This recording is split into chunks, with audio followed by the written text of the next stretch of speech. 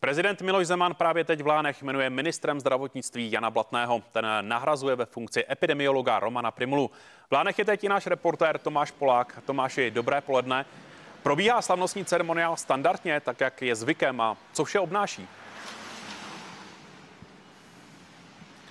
Dobré poledne. Tak ceremoniál neprobíhá standardně, eh, probíhá netradičně bez účasti médií. My novináři tedy stojíme tady před Lánským zámkem a čekáme na případný komentář. Ten se ale neočekává. Na zámku v Lánech je jenom premiér Andrej Babiš, prezident Miloš Zeman a pak sám Jan Blatný. Eh, krátce po jedné hodině odpoledne pak uvede do úřadu přímo premiér eh, Andrej Babiš Jana Blatného na ministerstvu zdravotnictví. Tam mu úřad oficiálně předá dosavadní ministr zdravotnictví Roman Primula. Tisková konference pak plánovaná na půl druhou. Tam by měl poprvé Blatný přestoupit pro novináře a zodpovědět jim jejich první otázky. Tady, jak už jsem říkal, tak žádný komentář neočekáváme. Zatím ani při cestě sem vlastně Jan Blatný žádný komentář médiím neposkytl. Kdo to vůbec je Blatný, tak Blatný působí jako přednosta oddělení dětské hematologie a také biochemie ve fakultní nemocnice Brně. Tam také působí jako zdravotnický náměstek. V Brně pracuje už od roku roku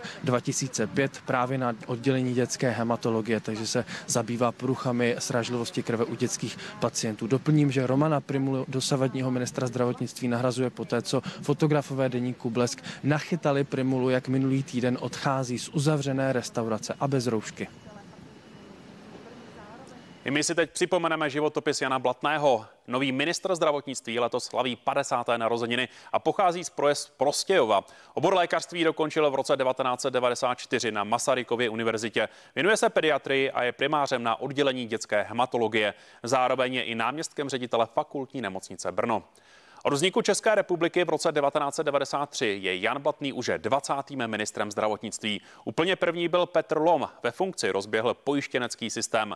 Tomáš Julínek v roce 2008 zavedl regulační poplatky. David Rád dokonce skončil ve vězení, ale mělo to souvislost s jeho funkcí hejtmana. Nejkratší dobu ve funkci byl Roman Primula.